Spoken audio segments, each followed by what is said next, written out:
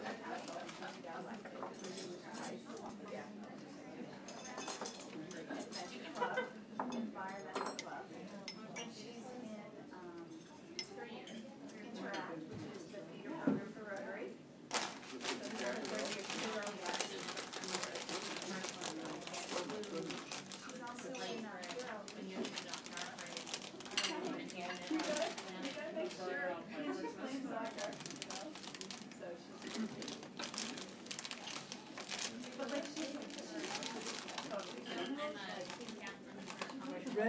Color.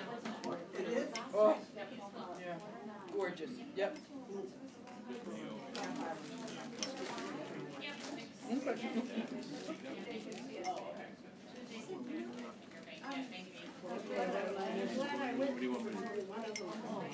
So what's new with you, Al? It would be a very large room. Very large No news is good news. That's true.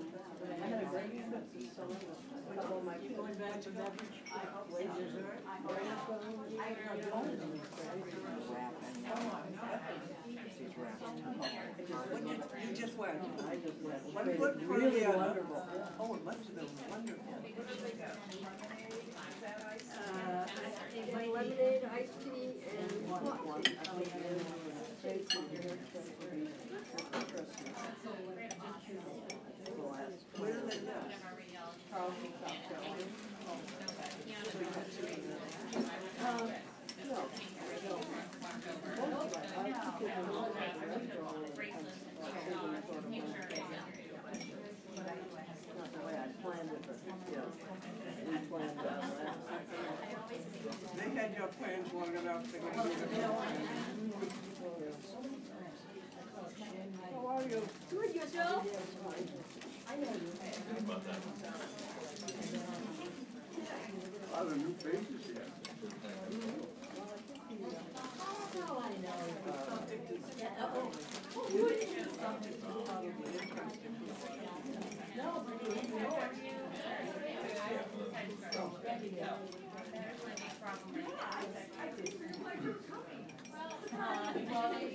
That or physics teacher. Did you knit your shawl? Now are you? I just threw myself No, no, over there. so, on the last minute. I thought about decorating the table, but everything is too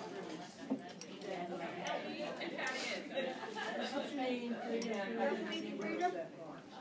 I'm sure you've seen each other here. Oh, probably, yeah. Unavoidable conflict. Don't worry about it.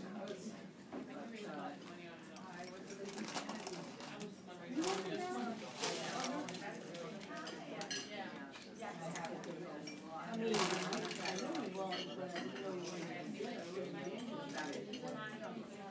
I've got about seven, ten, Good soup.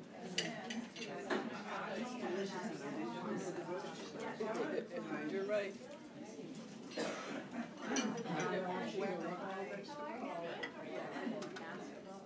Actually, I was awake, but I figured you would. When I missed the last five minutes, I couldn't stay awake. It was an ugly game. So, I only watched the last four. Tia, Lee. when I had to- for this. For that, Yeah. okay, should we go with the lines, do you think? No, it'll be all right?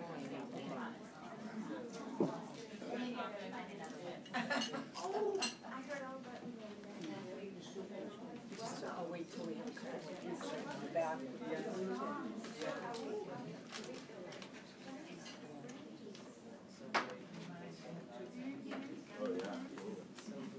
Remind me, I had two things up here.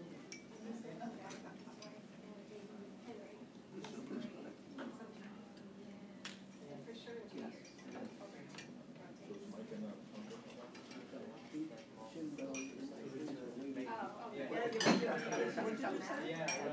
Shinbo is pretty much waiting. waiting for the soup. So for me to go, yeah. By myself.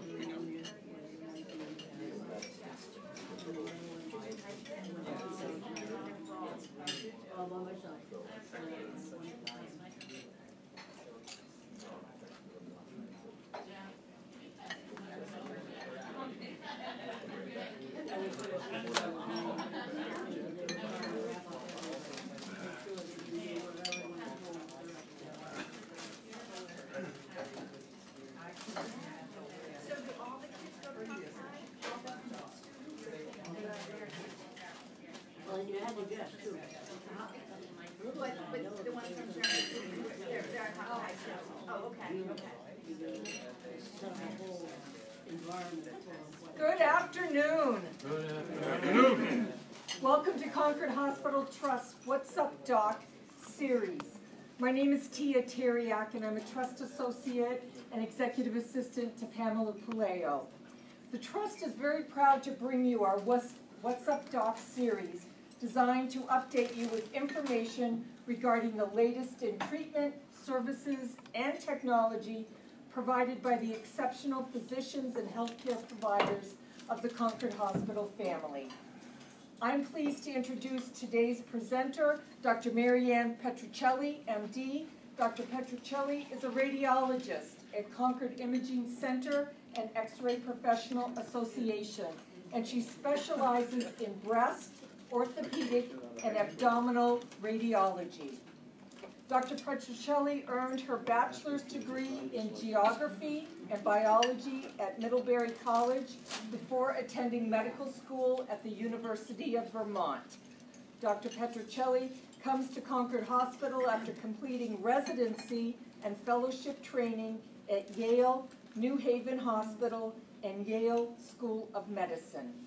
Dr. Petruccelli has expertise in all areas of radiology most particularly in breast and orthopedic imaging, as well as minimally invasive and image guiding procedures.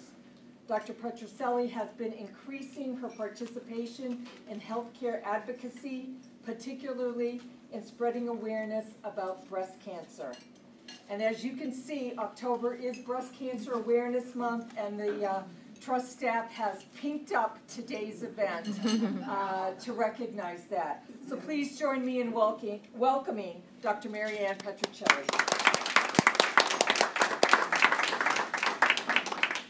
Hi everyone, thank you for joining us this afternoon. Um, I am going to be talking today ultimately about some new software packages that we are now using and hoping to roll out in the next several weeks um, at Concord Imaging Center when patients come for their mammogram appointments. Um, but first, given that it is Breast Cancer Awareness Month, I just wanted to start with an overview about how breast cancer affects all of us in our country and how screening mammograms can um, benefit women and reduce the mortality and risk of breast cancer. So, breast cancer statistics in 2019, breast cancer is the most common cancer diagnosed in women about 12 to 13 percent of all women, that's one in eight women, will be diagnosed with breast cancer during her lifetime. This year, more than 300,000 new breast cancer cases are anticipated, and that makes up almost a third of new cancers diagnosed in women. So this is a big issue facing us in all of our country. Most people know someone who's been affected by breast cancer, and these statistics just speak to that as well. Mammogram screening guidelines have been in the news a lot in the last several years.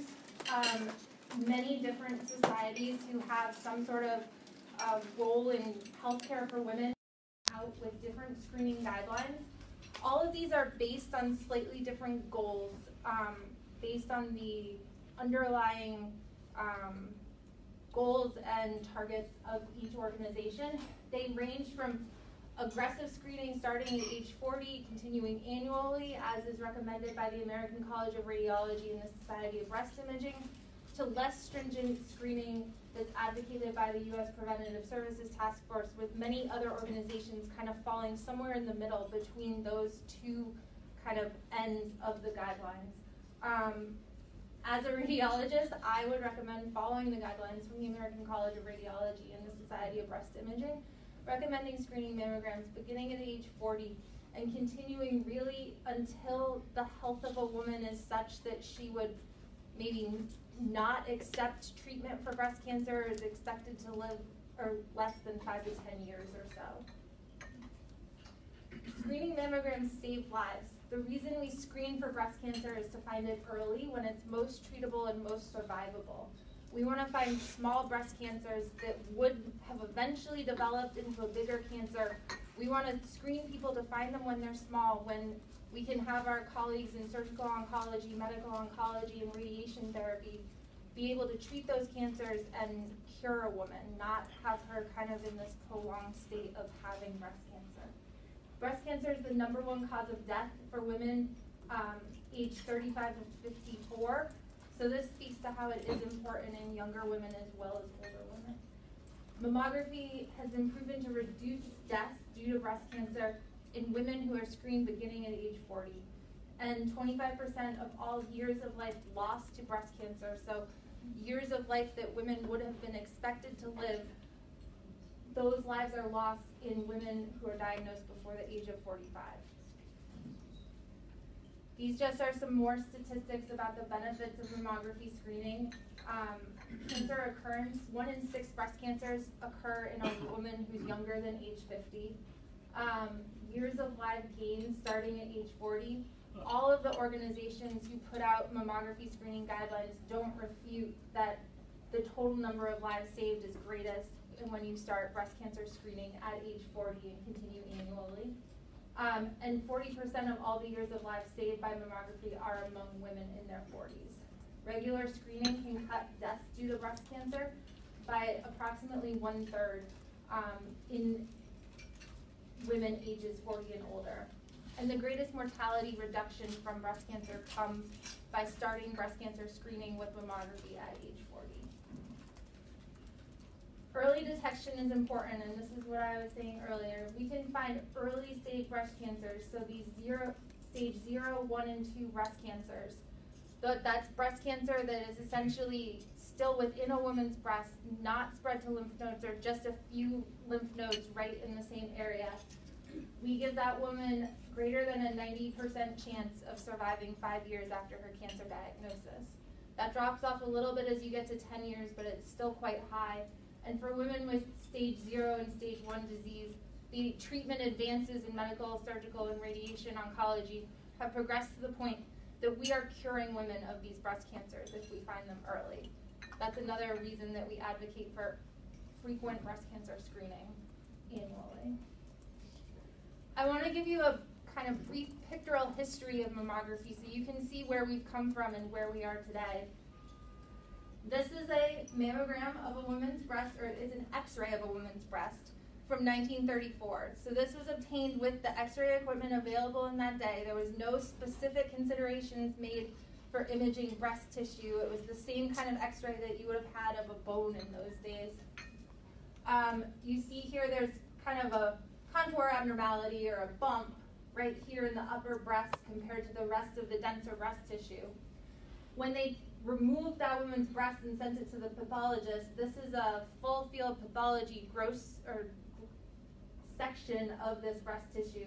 And you see this cancer in the upper portion of the breast here. So this is what we kind of started with in terms of early, early breast imaging, and now I'll show you where we've come from.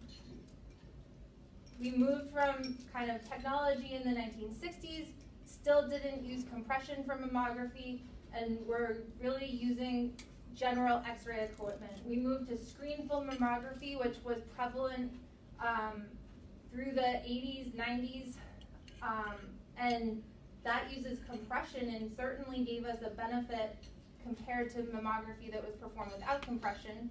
During this time, the conventional views of mammography, the top to bottom view and the side to side view were also really formalized as the best way um, to perform mammography. And that was an adequate tool. This is the kind of mammogram that most of the clinical trials that all of those guidelines I talked to you about at the beginning of the presentation, these are the mammograms that those results are based on.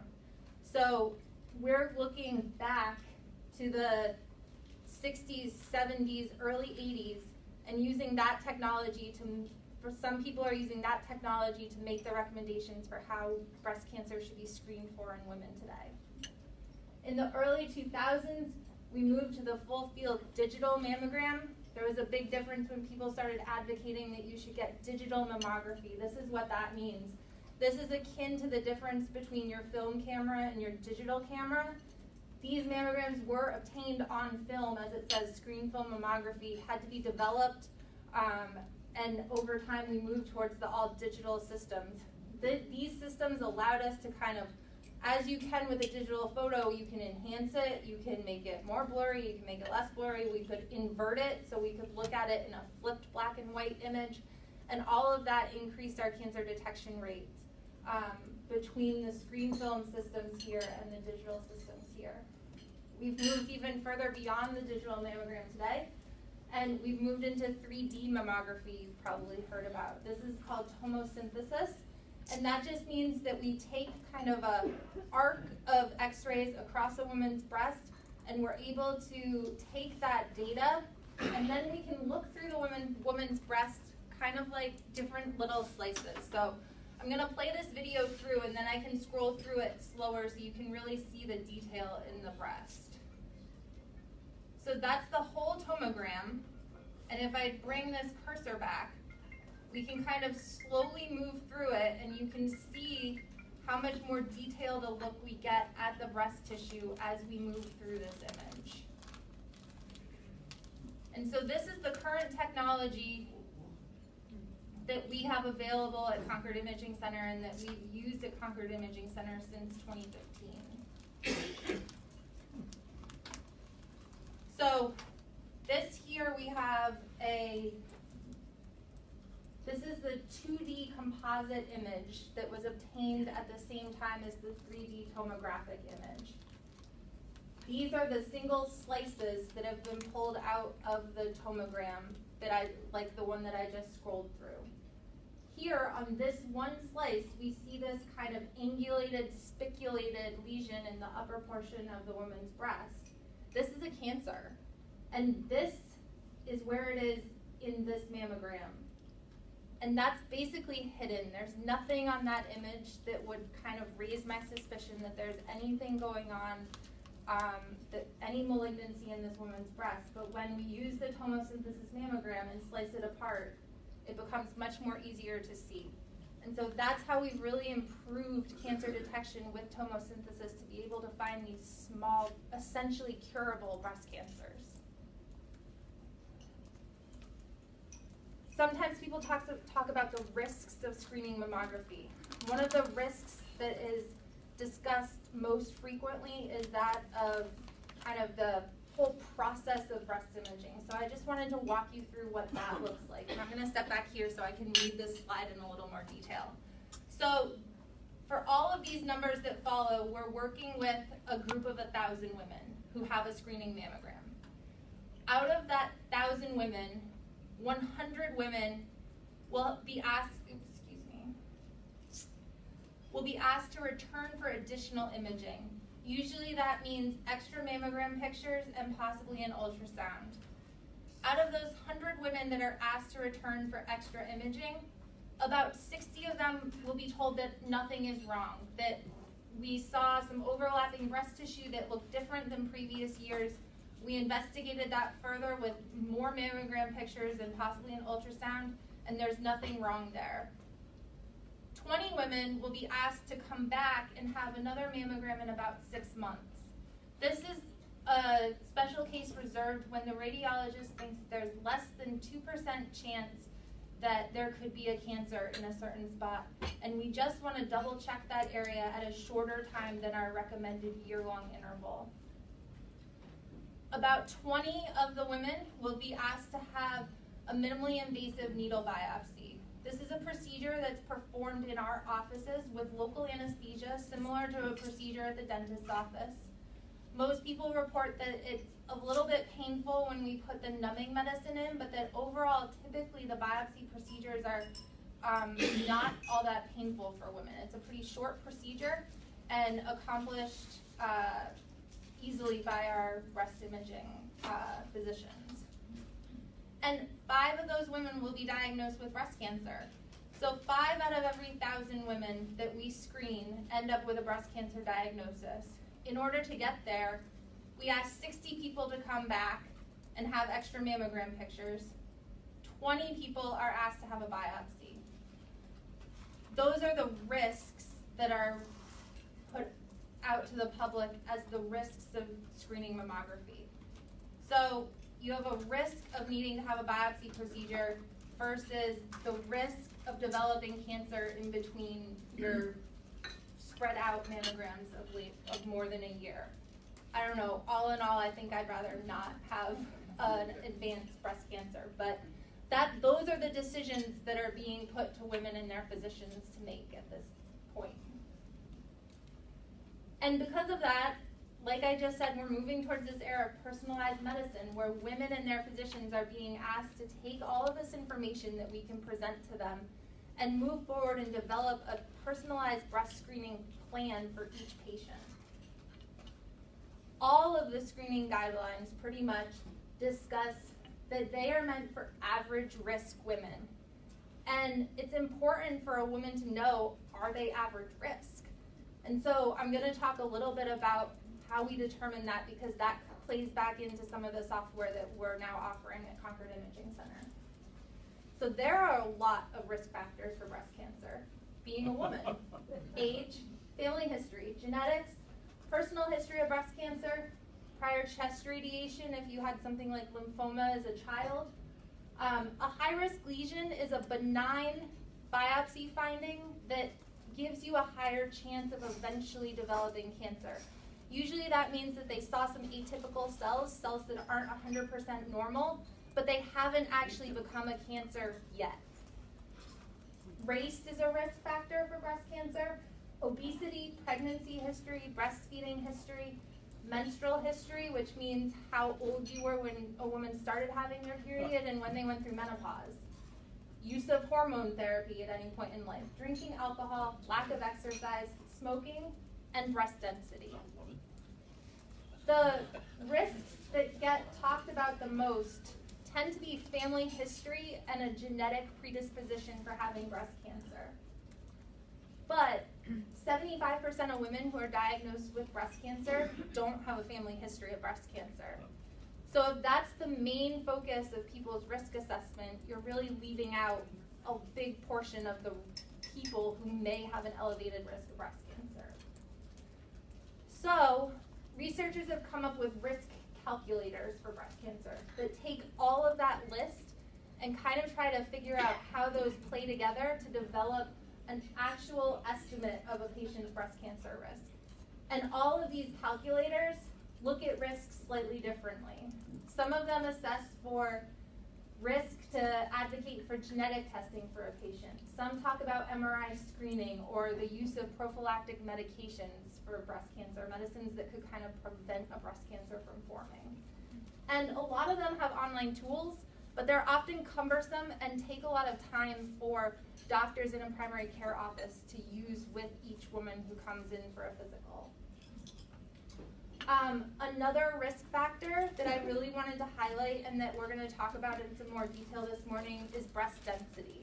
This has gotten a lot of news coverage in many states recently, and I'm just going to walk you through what breast density is and why it's important to us in mammography and how it plays back into this risk assessment and then personalized breast screening.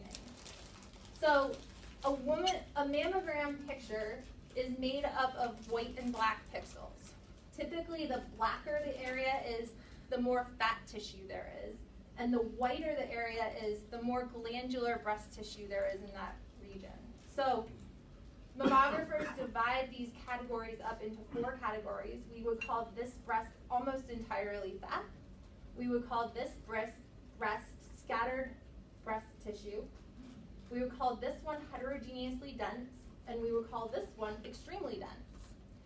And about most people fall somewhere in the B and C category, but put together, 40% of women over age 40 fall into category C and category D. Most women don't know their breast density. You can only find out what your breast density is by having a mammogram. As I said, you can only find out your breast density by having a mammogram. Breast cancer is four to six times more likely in a woman with extremely dense breasts than it is in a woman with fatty breasts. That's because cancers tend to form in that glandular breast tissue because cancers are, for the most part, cancers of that glandular tissue. Mammograms are also less sensitive in patients with dense breasts. And breast density is actually a stronger risk factor for breast cancer than having a mother or sister with breast cancer. Wow. So this is an important risk that many women don't know about. Excuse me. Yeah. Um, density is determined by the glandular tissue instead of the fat tissue. Exactly. So if we go back to this picture, the white part of a mammogram image, that's glandular tissue. The black part, the, or the darker gray part, that's the fatty tissue in a woman's breast. So everyone has some combination of glandular tissue and fatty tissue making up their breast. It's just the proportion that changes from person to person. And it's not something that your doctor can know by feeling your breasts in a physical exam, and it's not something you even know from living in your body for however long. It's really something that you can only find out by having a mammogram.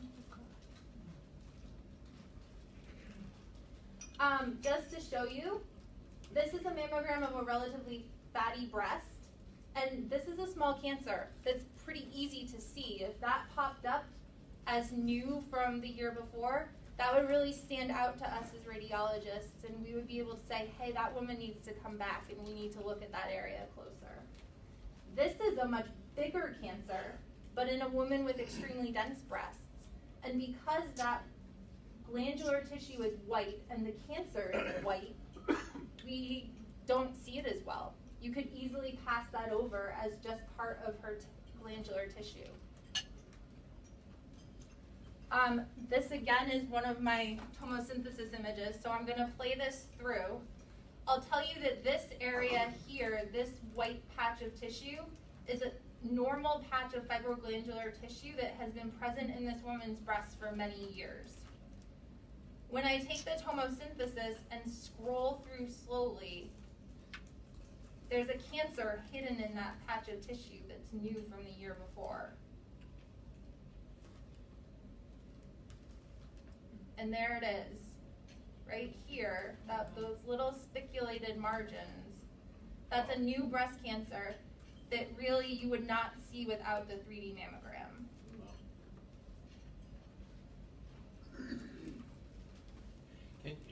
When- you, when a woman has a mammogram, uh, can they tell her whether she has A or D? Yes, and so Uh, That's, would be an important question to know. hold your question because other people have thought the same thing. Yeah, yeah, okay. So this is just my summary slide of all this. So as we increase our breast density, the sensitivity of mammography decreases at the same time that a patient's cancer risk is increasing. So that's really a conundrum that we as mammographers and breast imagers need to be aware of and know so that we can give proper screening and adequate screening to every woman. Huh. Just like you said, people thought it was important for women to know this. So, starting in 2009, there's been a real push to notify women of their breast density in the letters that women are required to receive um, with their mammogram results. So, this started in Connecticut and has spread pretty much across the country. 37 states have some kind of breast density notification law on their books. Um, in New Hampshire, a bill regarding this was introduced in the 2016 legislative session, but it was not passed. Um, they did expand coverage of mammography services to include tomosynthesis, the 3D mammograms, but they didn't mandate uh, breast density notification. Does Concord Hospital do it anyway? Yeah, good question. That's what we're getting to. um, I did not. earlier this year, Congress passed a law telling the Food and Drug Administration to develop breast cancer reporting language. The Food and Drug Administration oversees the accreditation and the um, rules for mammography equipment and for centers that perform mammography. So then the Food and Drug Administration pro- proposed updates to that rule book that would include breast density notification nationwide. So there wouldn't be a difference between what a woman would know if they got their mammogram in Vermont or Connecticut versus what they would know if they got their mammogram in New Hampshire. And all of this is being done because we do have new tools that let us screen dense breasts better. We can perform screening ultrasound examinations, which is using sound waves to look at the breast tissue. And by ultrasound, the dense breast tissue still looks white, but the cancer looks black. And it makes it much more obvious looking at a small cancer by ultrasound in dense breast than it does on mammogram. So screening ultrasound is one tool, and then screening MRI is really our gold standard for finding small breast cancers. But MRIs take a long time, they're expensive, and we have to use contrast for an MRI for breast cancer, and there's risks associated with giving people contrast. So we're not going to be able to do MRIs for everybody right now. Um, so those are really targeted at patients who have an estimated lifetime risk of greater than 20%, have had prior radiation to their chest, or have high risk um, pathology lesions seen at a time of another biopsy.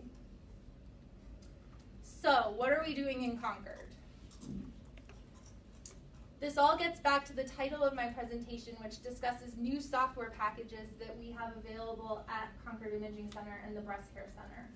One software package, and this is not the most important part for you, but this is these are the two software packages that we have put into place. One is called Volpara, and that gives us a measurement of a patient's breast density based on their 3D mammogram data. And that helps decrease the differences that if your mammogram is read one year by me and read another year by one of my colleagues, we might see your similar pictures, but say your breast density was two different things. Because it's just based on what our eyes perceive and where our thresholds are for those four categories. So we're hoping that this decreases that variability that women could see. And then it also gives us some automated quality control systems I'm not going to talk about that in much detail, but that hopefully will standardize our mammography pictures better and help our technologists improve um, in the quality of our mammograms over time. And then also we've implemented a new tool called Aspen Breast, which are, is our breast uh, imaging management and reporting system. This is where we create all of our reports, but more importantly, every time a woman comes for a mammogram, our technologists take a lot of history information from each woman. We ask you your birthday, your weight, your height, how, who's had breast cancer in your family, who's had other cancers in your family, have you had a hysterectomy? All of this information has always been put into a system that we as radiologists could see, and we'd scroll through it a little bit, but it, like you saw with all of those different breast cancer risk factors, it's not something that's easy to put together to really know a patient's risk of breast cancer. And so Aspen Breast has a package that gives us a much more detailed risk assessment. And I'm going to walk through a little bit of what that looks like here. So this is what Volpara does. It's a computer-driven breast density measurement based on the 3D data from the mammogram. And it has excellent calibration to MRI measurements of breast density, which are really the gold standard. And it gives us a picture that gets put into every woman's um, mammogram images and gets saved that says what Volpara thought their breast density was. The radiologist, it's at our discretion to change what actually gets reported. Typically, we tend to move people up levels. Um, and if we have certain scenarios where we know Volpara doesn't work very well, so it's always left up to a radiologist's discretion what the actual reported breast density is. But the breast density that goes into the risk assessment model is an actual number that comes from Volpara. Aspen Breast, like I said, is our tracking and reporting software. Our technologists are going to be asking even more history questions of women as they come for their mammograms now. That'll decrease in subsequent years as we've collected some of that data, but we're always going to ask for any updates, particularly to family history and personal history going forward so that we can have the most accurate information. Going back to all these risk factors, it we're seeing the data from these risk assessments come across with mammograms, and quite frankly, it's been surprising to me who's higher risk and who's lower risk based on what the software calculates. It's really not something that you can tell just from looking at a list of risk factors. And so this is what the Aspen software spits out. These are all those different risk models that I talked to you about in the beginning. there's only, there's several built into the Aspen system. We're focused on these Tyrer Cuzick risk models. Those are, have been validated to be accurate. And those take into consideration the breast density of each patient at the time of that mammogram. Um, and those are validated for recommending screening MRI, which ultimately is our underlying goal of targeting screening appropriately to each woman.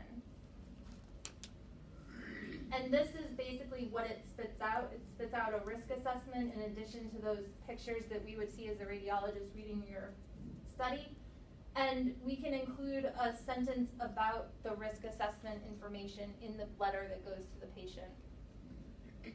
Ultimately, all of this is trying to move us towards better informed decision making for women, giving women the information that they need to make a decision about when and how to have breast cancer screening performed, and helping them have the information to take to their doctors so that they can have that conversation with their primary doctors.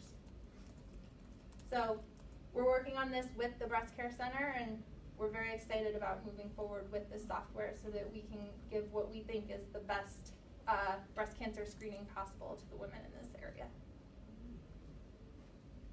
Questions? When will the software be implemented? We're still working with some of our colleagues across the health system to come up with exactly when it'll be implemented. We want to make sure that particularly all the primary care doctors have all the information they need to have these kind of nuanced conversations with women. Once we get that taken care of, hopefully in the next few weeks, we'll go live with it. Yep. Who actually sends out the letter, whether your, um, breasts are normal or not? Does your primary care physician, after they receive the results, the mammogram, or does the, Do we talk about the letter come from the, um, The letter comes from radiology. from radiology? And will the density measurement be included in that in coming Yes. times? It will. We still, like I said, we're working with our colleagues, particularly in primary care, to make sure that um, we have a good path for patients once that happens, so that no one kind of falls through the cracks, basically. And if you go back to risk factors, uh, obviously, the first four, five, you cannot control. Yep. Um, actually, further down the road than that. Yeah. What can be controlled that would reduce your risk of breast cancer? Obviously, you can stop smoking, but, um, and when you say drinking alcohol, how much are you talking about? Uh, using hormone therapy, how many years? Um, what- Those, Yeah, those are all really good questions, and that's why this is so hard, is there's no cutoff that this is okay, this is not okay. These are all just the risk factors that we know play some role in contributing to breast cancer risk. Honestly, most of these down here, aside from the breast density, which I kind of left at the bottom because many of these are more expected, those are some of the lesser risk factors, but they do still play some role. A lot of it you can't control, like you said. uh, breastfeeding history, you mean, did you feed or not feed? So overall, if you if you breastfeed, you decrease your risk of breast cancer. Any percentages? I don't have the percentages on the top of my head, no.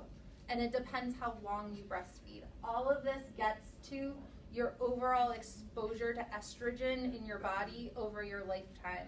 And so that's why it's hard to model this, it's hard to predict this. Um, so if you started your period earlier, you your body has been exposed to higher level estrogen of estrogen longer. If you go through menopause later, your body has been exposed to estrogen longer. If you breastfeed, that kind of knocks down your estrogen production. And so the longer you've breastfed, the lower your risk of breast cancer is. But it's all tied back to overall estrogen exposure for your body. Mhm. Can you say a few words about breast cancer in men? So only about one percent of breast of men get breast cancer. It's not something that we see very often. Men don't get screened for breast cancer because it's so rare. So typically, men who get breast cancer um, present because they've noticed a change in their breast. Mhm. Is there something, um, as a woman, we go in and, you know, we have our yearly checkup with our primary care, OBGYN. Is there something we should, they just generally, oh, we'll get your mammogram. Should we be having a discussion about what type of mammogram we would like with our primary care or the referral source before we come to Concord Imaging? Is there something that we should be looking, you know, to have the referral state? Or is it just a, when you come in, you'll, you, you assess what's the best test for each person? In terms of mammograms, mammogram is a screening test for everybody. Even if someone is recommended to have supplemental screening, we call it supplemental because we mean in addition to a mammogram. So a mammogram is for everybody. There's not a better test than a mammogram because there are certain signs of cancer that don't even show up on an ultrasound or an MRI. Even though I called MRI the gold standard, we still need that mammogram. Um, I would recommend that every, every woman get a 3D mammogram. There are still places that are only doing the digital mammograms that don't give you that 3D picture like I was able to scroll through. Everyone who gets a mammogram at Concord Imaging Center gets 3D mammograms. There's no one in this area in our health system not doing 3D mammograms, but there are other facilities in the area that don't do 3D. So that would be my recommendation. That's more if you call to make an appointment. If you call somewhere else other than Concord Imaging Center, I would recommend that you ask, do you do 3D tomosynthesis mammography? Yep. I think I heard you say that we're behind in legislation, and of course, politics is so quiet in Concord. Yeah. It seems to me like we should, no, I'm joking, of course. Uh, uh, it seems to me like, uh, a good takeaway from this group ought to be, can we find a person who will be in touch with the all-female Concord delegation to the New Hampshire House? And would people be available to instruct them and to help them fashion a bill that could, uh, do a lot of good for a lot of people? I think Because I have somebody in mind, it's not me. Okay. Yeah. You know, you know, it's a, it's a, a person recently retired from here, Mhm. and who probably would, uh, could be, uh, quite convinced that this is worthy of her time, and, uh, and that of the other folks as well. Uh, so I'm just saying, maybe we should take this one step further. What's happening here is great, and, and we're all glad of it, and we can spread the word. But it's a very quiet word, we need to have a big thing that's written, and it says House Bill such and such, or Senate Bill such and such. Yep. I think that that's a great point. The good thing to know is that even in the absence of that, nationwide, this is coming up to the forefront, that there's gonna be a national standard very soon, it seems, that will require the breast density notification.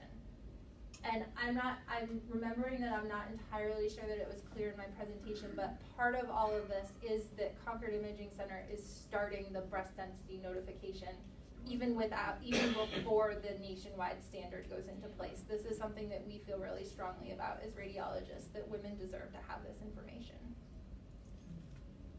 Yep, Um, I'm a retired general surgeon Mhm. here, and I just have a question, I'm having a hard time wrapping my head around your job now, based on this new software. It sounds like you, you, you've got density data coming right out of your mammogram itself, and then you have the risk factor data, all those different ones. Is this information like right in front of you when you're reading the film? Yep. And what I wanna know is, are you reading the film first and then looking at the information, or looking at the information and reading the film? Because that diagnosis is still pretty human based on your reading it. Mhm. And does that make you look harder at a film where the intensity is harder and the risks are higher? And is that a good thing or a bad thing? That's my question. well, the density information is always on, has always been on the film. That, that is inherent in the mammogram.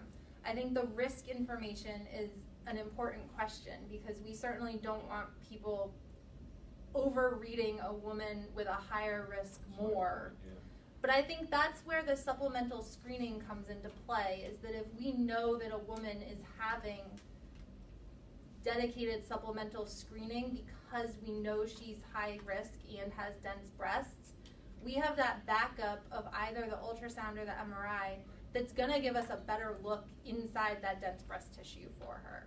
So I think that's really where we're hoping to head is that people really buy into the supplemental screening that we feel is necessary for those higher risk women, especially if they have dense breasts. Mm-hmm. Does Concord Hospital keep track of, I know your service area is quite large, but of incidents of breast cancer over a period of time and you get into different, you know, are certain communities affected more so than other communities and kind of a socioeconomic tracking as well within your service area? I'm gonna look back to Larice who's in the back because she is. That may be out of your- She's my she's my data guru and she's gonna turn as pink as the tablecloth. I am. But um, she's in charge of all of our data basically, and she knows more how we break that out and how frequently. So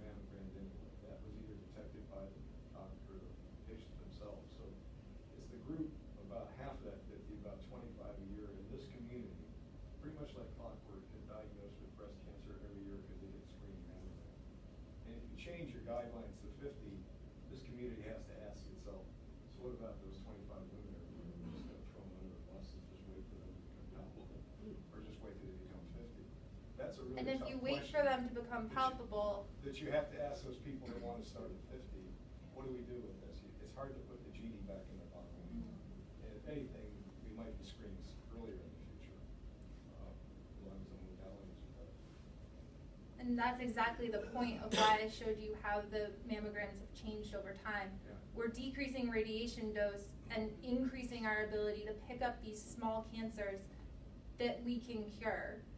And we wanna be able to do that for women in the community. We don't want them to come in because they have a big three centimeter tumor in their breast. We want to find it when it's that pea-sized tumor that a surgeon can just go in and take out and it doesn't cause problems for a woman for years on down the road or potentially death. Mhm. I am looking at your risk factors. Um, is there any uh, information or, statistics on exposure to radon? We're in a state with a lot of stone. Radon comes into the home through water. Um, well, particularly well water.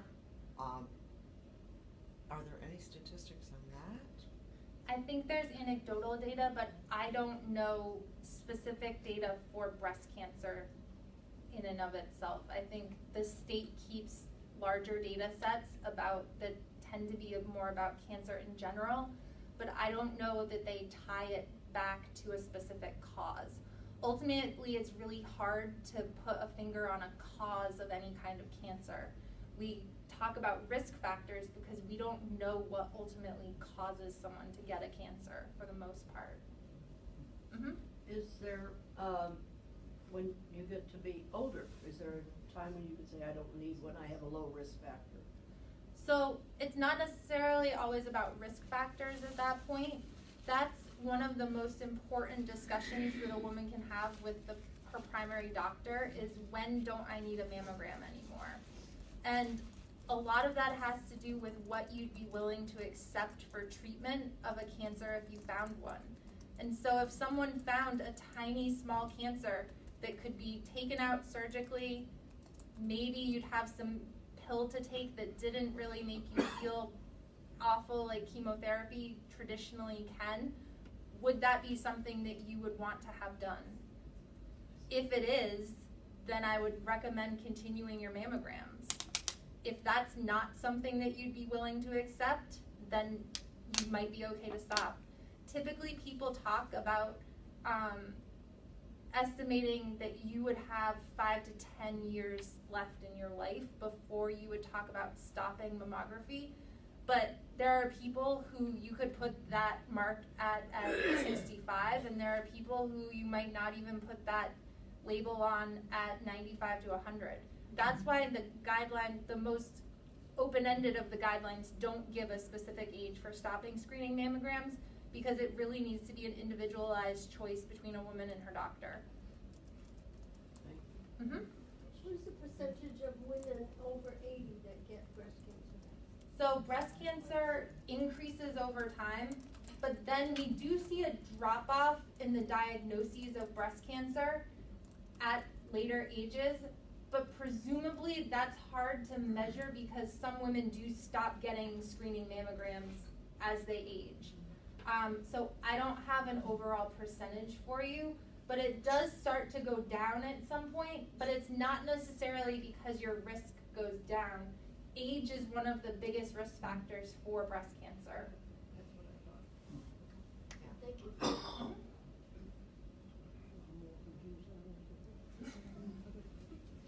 Well, and that's why it's important for you to have as much information as possible because it is really confusing and it's not something that you necessarily should just follow a guideline that was printed in a magazine or even in a scientific journal. There's a lot of personal uh, decisions that need to go into screening decisions. Mm-hmm. Can I just confirm that with this new technology that you have for every screening mammogram that you do, you're going to apply this technology for every person?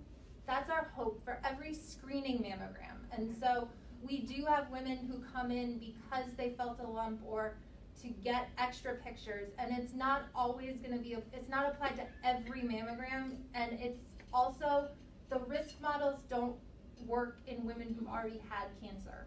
So it's not every woman who comes in who's going to get this information and get these tests or these risks assessments run but everyone who comes in and says i want a screening mammogram yes our goal is that everyone will get this done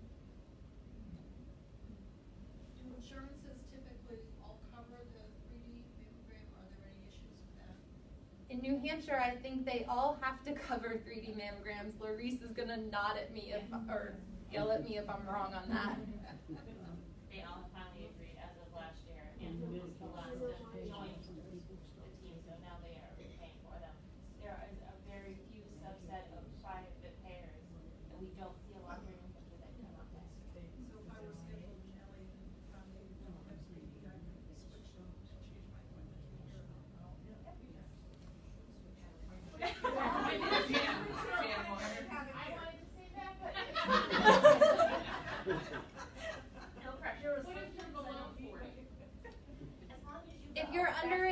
30, we don't, there's no data that there's benefit to starting mammograms before age 40. The American College of Radiology suggests that all women at by age 30 have some sort of conversation with their doctor about their breast cancer risk. Um, all of these breast cancer risk assessment tools that I've talked about have some kind of online component and are offered to patients just freely available on the internet. So I would recommend that you kind of learn your breast cancer risk. You won't know your breast density until you have a mammogram. But if there's something that if your mom or your sister have had breast cancer, we do start screening earlier. So if you know that there's breast cancer in your family or you might have an increased risk of breast cancer, we do do screening in younger women, but it's on a case by case basis. Mm-hmm. I have a, um, I know you and I talked a little Yeah. offline about this, uh, great development. Um, the risk assessment, the factor, the variable that comes out at the end of this, is that life, for life, that is your risk factor, or does that change over time? It changes over time. So let me go back to.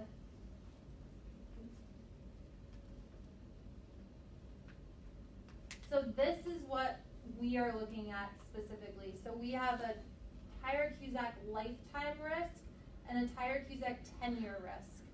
Um, and people go back and forth on which one is better to be followed for subsequent recommendations, but those change over time. Breast density also changes over time. As women Oh. age, your breast density tends to decrease. Um, again, because it's that the glandular tissue is the denser tissue, and as you go through menopause, typically your breast density starts to decrease. Um, so your breast your breast cancer risk is always changing. That's why we're going to do this for everyone every year. Yep. Um, just comment about when to start screening nationally. Um, you commented the American College of Radiology, American College of Surgeons, and the American Cancer Society, very similar. Yes. time recommendations. Uh, you also mentioned the U.S. Preventive Health Task Force pushing more starting at fifty. Even though it says U.S., it's not a U.S. government organization, um, at all.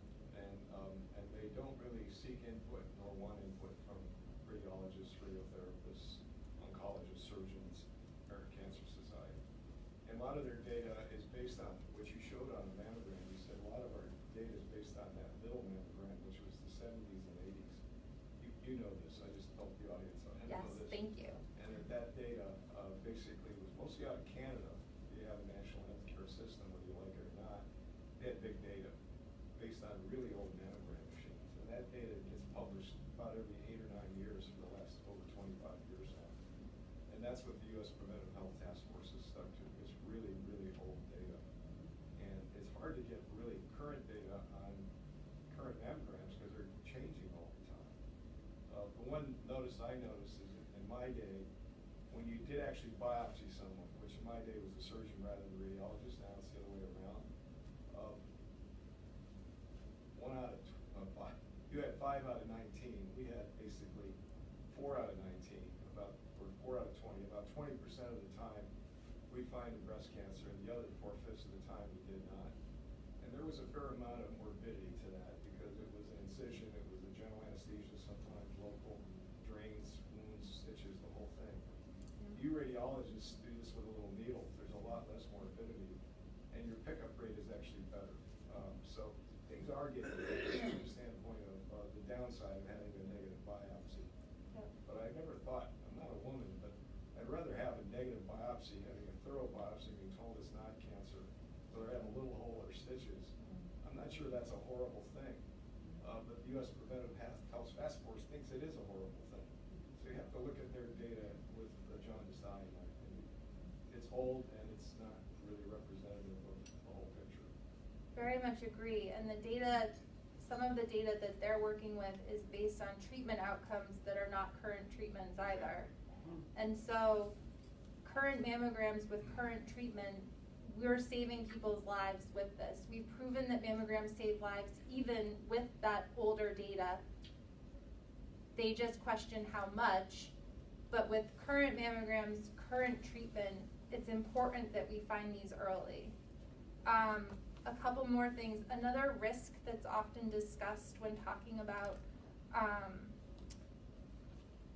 the risks of a negative biopsy or the risks of a false positive mammogram is anxiety for women. And while it's certainly anxiety provoking and all women who come into the breast imaging suite at some point are nervous, especially if we've called you back because we need extra pictures or because you need to have a biopsy. We all know that that is a very nervous situation for people and you're so unsure and so like at our mercy to do the right thing for you and hopefully find a good result for you. But we talk about that for women and breast cancer, but we don't talk about that in terms of other cancers and other kinds of biopsies. Men don't talk about their anxiety about having a prostate biopsy as a negative reason not to screen them for prostate cancer. So I think that's something that we need to be mindful of as well that while we know and are very cognizant of the fact that it is anxiety provoking, we're trying to do the right thing and find these early cancers for people. Um, yeah. Mm-hmm. This is just a comment, because I, um, I hear many women say, I don't want a mammogram because it, the, it squeezes too hard and it hurts. And I say, as a hospice nurse, I say, well, I'll tell you, it hurts less than dying of breast cancer. Yep. And I think we would say that about our biopsies as well. Just a question, uh, step back, uh, you, you give me an interesting statistic. Um, I know that, uh, this women have a much higher percentage, but you said men had a one percent. Uh, uh, so if men don't get screening, the question I have is, if they do, by the time they realize they have breast cancer, the, the breast cancer would be um, much more severe, I would think. Am I correct? Because they don't get screened? It can be, yes. Um, the point of screening women for breast cancer is to find it early, but we also know that one in eight women is going to get breast cancer in her lifetime. Right. If we say that's one in one hundred, Right. then the risks of screening become, they, the risks kind of outweigh the benefits at that point. All of this is kind of a risk-benefit analysis, and at that point, you'd be screening people for all sorts of things without finding it. And we don't deny there are some negatives to Yeah. the screening I was- process. I was surprised by the one percent, that's all. I Yeah. didn't realize it was that high. Okay. Okay, please join me in thanking Dr.